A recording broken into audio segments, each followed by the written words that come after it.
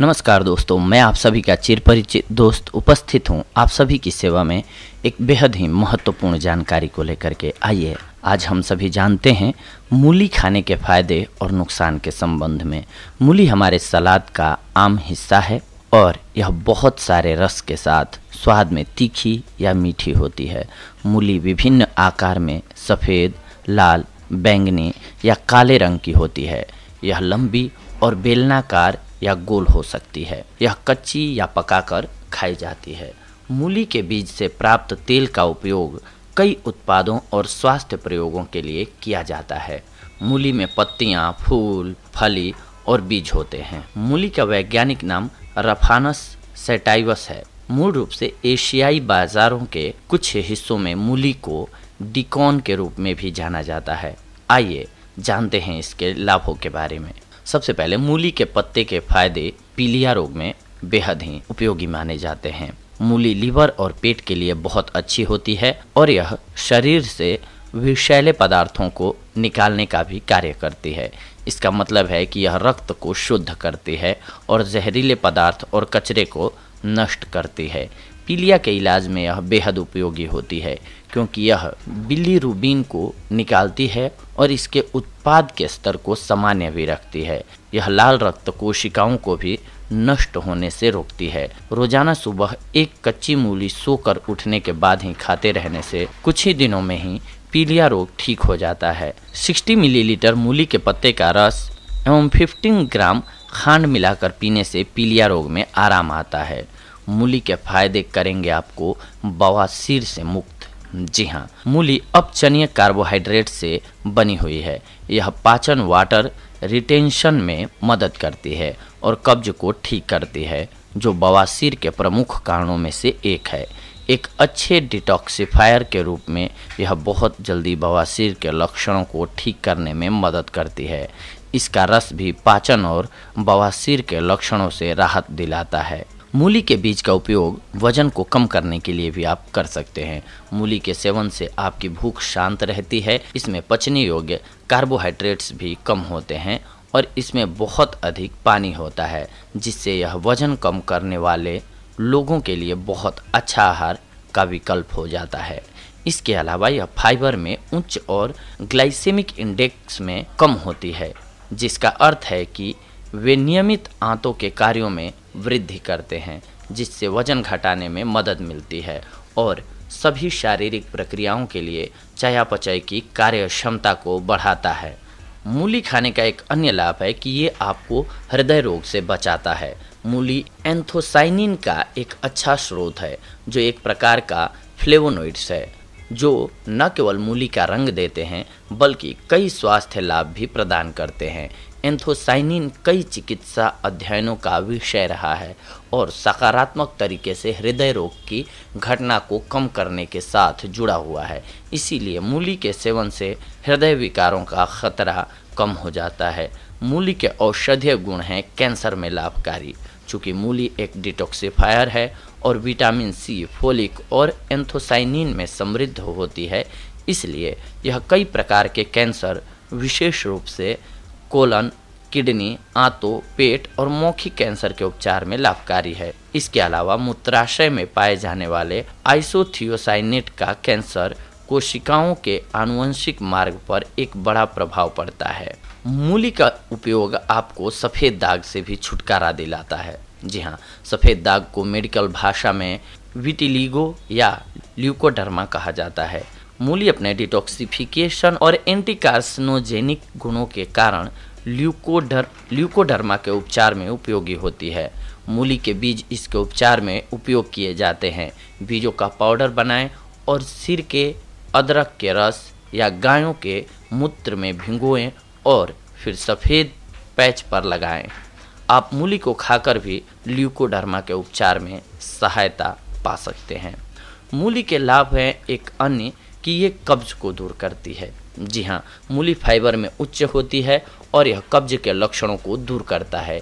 ये ढीले आंतों को मज़बूत करने और ढीली मल या दस्त से छुटकारा पाने में भी मदद कर सकती है। इसके अलावा मूली पित्त के उत्पादन को बढ़ावा देने के लिए जानी जाती है। पित्त पाचन के सबसे महत्वपूर्ण भागों में से एक हैं और लीवर और पित्ताशय की थैली दोनों को बचाने में भी मदद करते हैं। मूली खाने के फ़ायदे हैं। श्वसन तंत्र के लिए बेहद उपयोगी। मूली एक विरोधी कंजेस्टिव है, जिसका मतलब है कि यह श्वसन तंत्र की रुकावट को कम कर देता है, जिसमें नाक, गले, वायु पाइप और फेफड़ों में जलन होती है, जो सर्दी, संक्रमण, एलर्जी और अन्य कारणों से हो सकती है। यह निसंस्क्रामक और विटामिन में समृद्ध है, जो संक्रमण के श्वसन प्रणाली की रक्षा करती है। मूली में मौजूद इसका तीखापन एक मज़बूत प्राकृतिक मसाला होता है, जो बीमारी को रोकने के लिए बहुत अच्छा होता है और यह गले में अतिरिक्त बलगम को भी समाप्त कर देता है। इसके अलावा मूली गले में आराम और साइनस को दूर करने के लिए भी उपयोगी मानी जाती है। इसके अलावा ये उच्च रक्तचाप को कंट्रोल करती है। जी हाँ मूली पोटेशियम का एक बहुत अच्छा स्रोत है। पोटेशियम को उच्च रक्तचाप को कम करने के लिए सकारात्मक रूप से, पोटेशियम को उच्च रक्तचाप को कम करने के लिए सकारात्मक रूप से जुड़ा हुआ है। क्योंकि जब यह संवहनी बेड की धमनी आपूर्ति से संपर्क करता है तो यह रक्त वाहिकाओं को आराम दे सकता है।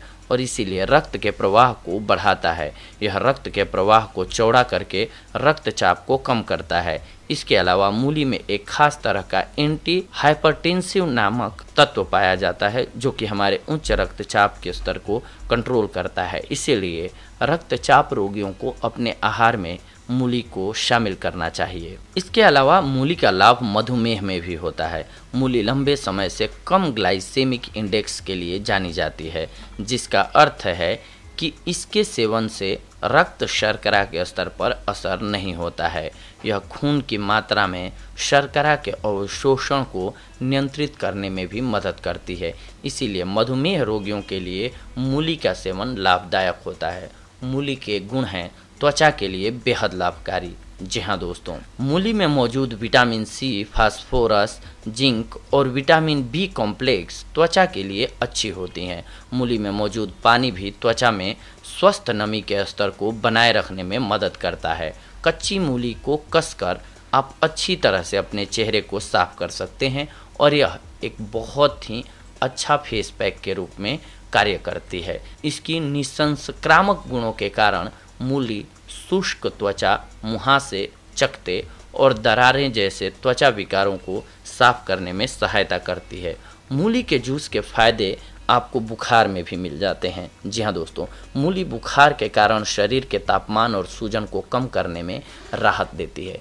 इसके लिए मूली के रस को काले नमक के साथ मिश्रित करके पीना चाहिए और मूली एक बहुत ही अच्छे कीटाणु नाशक के रूप में कार्य करती है।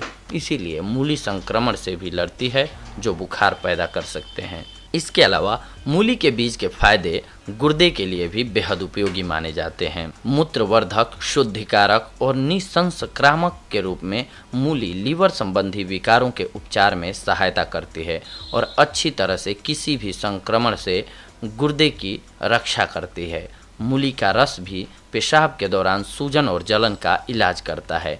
यह गुर्दों को साफ़ भी करता है और गुर्दे और मूत्र प्रणाली में संक्रमण को रोकता है।